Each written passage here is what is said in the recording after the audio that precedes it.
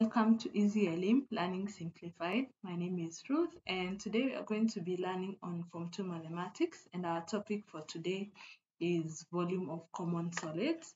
So today we are going to be discussing the volume of a pyramid. So in the previous lesson we looked at the volume of a prism. So for today we'll look at how can we calculate the volume of a pyramid. So the volume of a pyramid is calculated by a third base area times height. There's a tendency for students to forget the a third. As when you get the base area, make sure you multiply it by height, but don't forget the a third. Let's look at a few examples together. So remember the formula is a third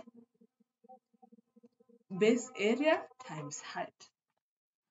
So we will start first by getting our base area. So our base area is a rectangular base. So it is 12 centimeters times 4 centimeters, which gives us 48 centimeters squared. And our height in this case is 8 centimeters. So our formula is going to be a third times 48 times 8. so that is going to be uh, 48 So 48 times 8 and then you divide by 3 which gives us 128 centimeters cubed. Let's do another example.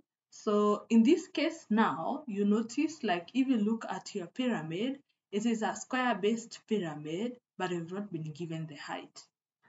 So we are going to look for height using um, Pythagoras theorem, but in a minute. First, let's get the base area. The base area, since it is a square, is going to be side times side, which is 4 times 4, which gives us 16 centimeters square. And then now, for us to get the height, first of all, we draw the base, the, the, the, the square, that is 4 centimeters, 4 centimeters. If you draw a diagonal, across and another diagonal across, if you want to get the size of this diagonal, which looks like it looks like this. So this is 4, this is 4, we will look for this diagonal, which we will call, we can call x. So this is going to be x squared is equals to 4 squared plus 4 squared, which is the same as x is equals to the square root of 16 plus 16 which is the square root of 32.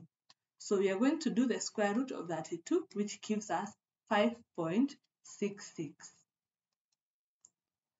So that is the, the value of the diagonal. But remember this diagonal has been cut into half by another diagonal. So we can divide this 5.66 and divide by 2, which is going to give us 2.83. So this value here is 2.83, this is 2.83. So now we have the height at the center and then we have that half of the diagonal and then we have the slanting height. The slanting height is 8 centimeters. Whatever we have just solved is 2.83 and now we have uh, the height that we are trying to look for. So we are going to use trigonometry which is the same as 8 squared is equals to height squared plus 2.83 squared. This is the same as bringing this this side, which will give us 8 squared is equals to 8 squared minus 2.83 squared. 8 squared is 64 minus 2.83 squared. If you square that, you're going to get 8. So 64, 64 minus 8 is going to give us 56. So we can do the square root of both sides so that we can get the height as a square root of 56, which is the same as 7.48. So now we can go back to our formula, which is going to be a third times base area, which we saw it is 16, times height, which is 7.48. So that is the same as 16 times 4, uh, 7, 7.48 4, 8 and then divide by 3 which gives us 39.89 centimeters cubed. Let's do another example. So in this question, it's just like the, the one that we had started with. You've been given all the values. So the base area, it's a square. So it's going to be side times side, which is 6 times 6, which gives us 36 centimeters squared. And then the height is 12 centimeters. So it's going to be a third times base area, which is 36 times 12. So this is the same as 36 times 12 divided by 3, which gives us 144 centimeters cubed, which is our volume. And finally, the last question, the figure below is a square-based pyramid ABCDV such that AB is 7 centimeters and VA, VB, VC, and VD is 9, meaning all the slanting height are the same size. So you have been told to look for the height of the vertex, but we also further go ahead and calculate also the volume. So when you take the base, the base is a square, which is 7, 7.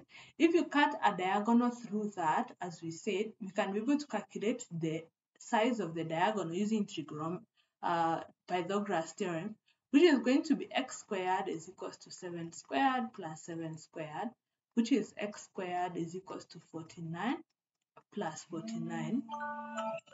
So 49 plus 49 is going to give us 98.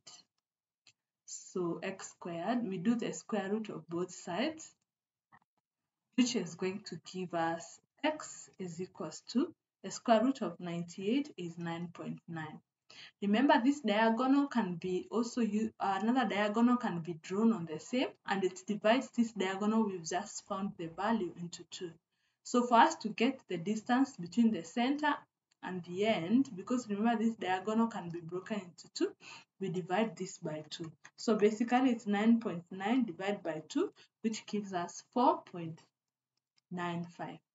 Now when we draw the height at the center, and then the, the part of the diagonal which uh, connects with the slant height of 9 centimeter and we've just discussed that the, the half of the diagonal is 4.95 we can use now this information to calculate the height.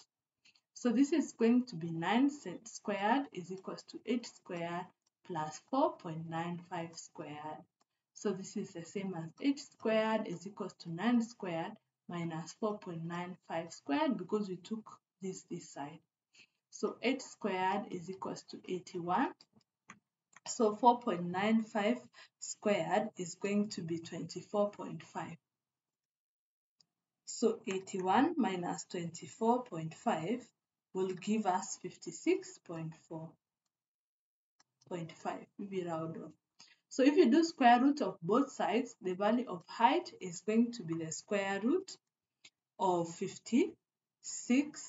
56.5, which is going to give us 7.5. So this 7.5 is the value of our height, but we said we are going to go ahead and calculate the volume, which is going to be a third base area. Base area is the, is the uh, area of the square, which is 7 times 7 then times height which is 7.5 so basically it's 49 times 7.5 divided by 3 which gives us 122.5 centimeters cubed so that brings us to the end. I hope you have been able to understand. You can get more questions in the app and also more notes in the app. See you in the next lesson.